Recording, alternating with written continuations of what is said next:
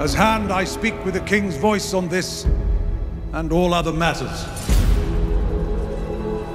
Tomorrow, the Hightowers land their first blow.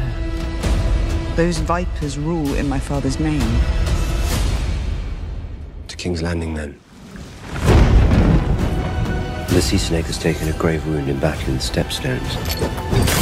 Who will take the Driftwood throne?